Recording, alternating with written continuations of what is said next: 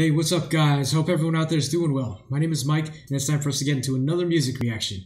So, guys, we have Emma Ruth Rundle back on the channel. It's been a long time since she's been. Uh, we've had a new video on the channel for her. Uh, what better way for her to make a return than the song "Return"? This one is off of either upcoming album or it's already been released. I'm not sure. Uh, it's for 2021. Uh, it's called "Engine of Hell." I should have looked that up beforehand. My apologies on that. Um, this is the point in the video where normally I go over lyrics and give my interpretation. I'm not going to do that for this video. Reason why is because I saw uh, online where Emma Ruth uh, Rundle talked about this song. And I'm paraphrasing here, but essentially she was saying that over analyzing or, uh, you know, being determined to uh, find meaning uh, in art, it can uh, defeat the purpose of art. So, um, you know, on one hand, I I disagree with that because I know there's a lot of artists out there who put a lot of loving attention into their lyrics and the meaning on why they they create something. Um, maybe in uh, artists such as painters, it's a little bit different. Um, you know, you, you you make your own interpretation of something. There's artists out there who write songs where you make your own interpretation too, but there are artists out there who have a specific reason and meaning in their lyrics. So, uh, you know that that's been my whole thing on this channel. That's been my preference for me to enjoy art more fully. I'd like to know the meaning. That's just if you want to call it my shtick, that's my shtick. I do it in almost every single video. Uh, I'm a song meanings nerd. I, I have that need to know why an artist wrote something that they did. It gives me a deeper understanding of the melodies and the lyrics when I know that. Um, now, if an artist is upfront about, um, you know, finding your own interpretation, then I take that to heart and I just make up my own interpretation. Uh, one of the bands that I know does that and is an advocate for that is Chevelle. Um, on the other hand, though, okay, on the other hand, I, I agree with her and I understand that. Um, if you if you delve too deep, you're, you're ruining the point of something. Not even just with art overanalyzing just anything can really defeat the purpose of multiple things, not just art. So um, we're gonna go with her wishes on and you know why this song was written. I'm, I didn't even look at the lyrics on this one. We're just gonna jump right into the video. Let me also say before we jump in that this is a request from my friend Conditions and my friend Paz. I know you've seen this as well. Um, so I, I I'm gonna watch the video. I know uh, Paz, you said you prefer just hearing the song, but um, it's my first time, you know, seeing this and uh, any new material from her, and I just want to experience the video. So, without further ado, let's go ahead and jump in. This is Emma Ruth Rundle Return.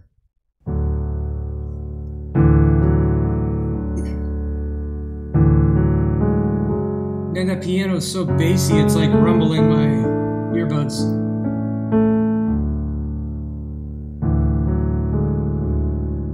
Very bassy. There's like no, hardly any treble in that piano.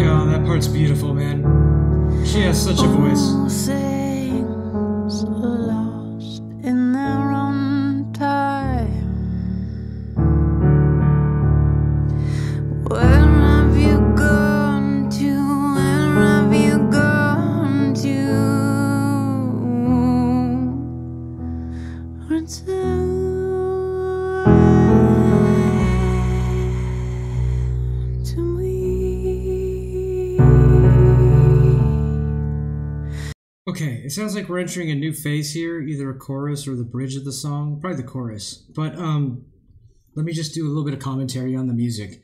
Um, her voice, okay, so the piano in this song is so bassy. There's like no treble to it, maybe even lowered mids or something. But um, that creates such a good contrast since this is an acoustic song so far, just featuring a piano and her voice, because her voice um, does have the treble on it. It's it's it pops in comparison to this uh, piano that sounds like this.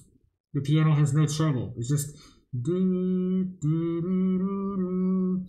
Meanwhile, her voice is clear, so it, it, it really pops on this. Um, the melodies in this, I mean, it just makes me, if I were to, you know, take what her the paraphrase part of what I said she said the song was about and take the art at face value and not overanalyze. It it just makes me feel a little bit sorrowful, but at the same time, um, at peace. I don't know. That's just you know, if you made me tell you my feelings within five seconds, you like tell me your feelings in five seconds. Go. Um, sorrow and it puts me at peace. That's that's what I got for you guys. So um, yeah, I, I really just wanted to point out how good and clever that use of like no treble on the piano was to really make her voice pop on this. Let's keep going. I don't know what's going on in the video either, by the way. I did see that that dove was in the cast, like the credits of the the uh, description of the video, so that's cool.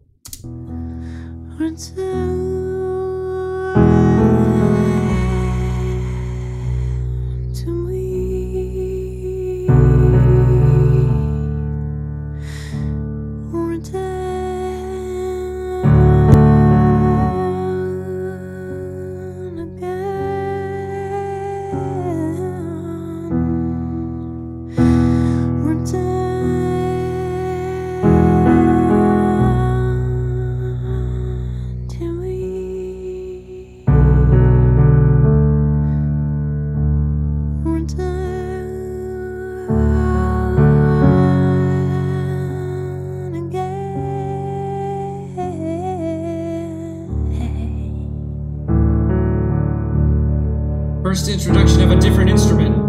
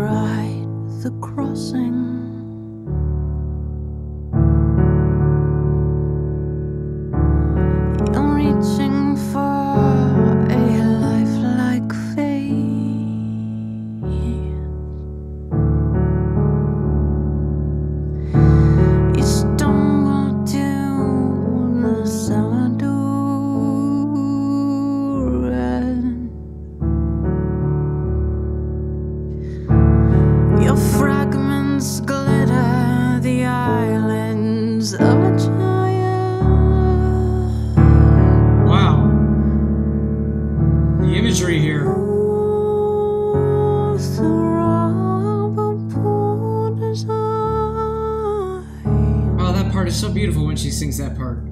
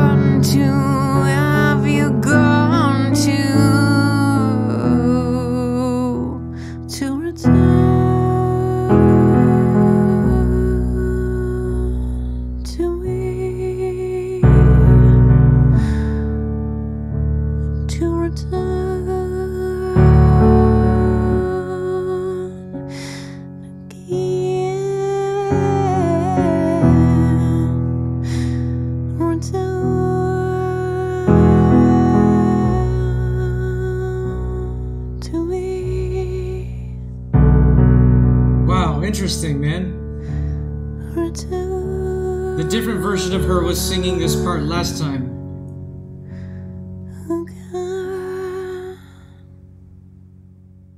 Oh. I thought I felt like we had so much more to go. oh wow, okay. So, uh, okay, first let me just uh, Emma Ruth Rundle, return. yes, that was a beautiful song. Um, I I, uh, I I like it a lot. I like the melodies in this. Um, the acoustic style of it again, it's so clever having the uh, the you know supporting melody of the piano there have no trouble. It really makes her voice pop on this. I think that almost it's almost like it's necessary because in parts of this she's singing so so faintly that it's necessary to have this be the background because that way you can hear her sing faintly. You know what I mean? Um, yeah, taking this at face value, uh, like I said, overall feelings, I feel sad, but at the same time, I feel at peace. And um, just off the top of my head, not overanalyzing the parts in the lyrics that I was picking up, I just kind of picture, um, you know, trying to return from a, an abyss or a place of sadness or something like that. You know, that's just off the top of my head, not overanalyzing anything.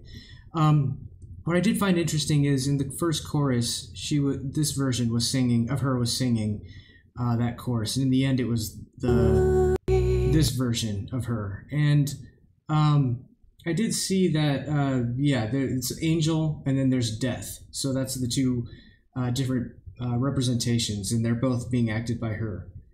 Uh, Sarah Ray Rundle. Okay, is that her sister? Interesting.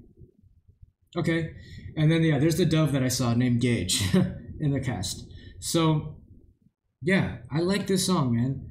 I uh, it's gonna take a couple more listens uh, for me to kind of um, get a really good feel for it. But on first listen, this was an excellent and beautiful song. I really liked her vocals on this too.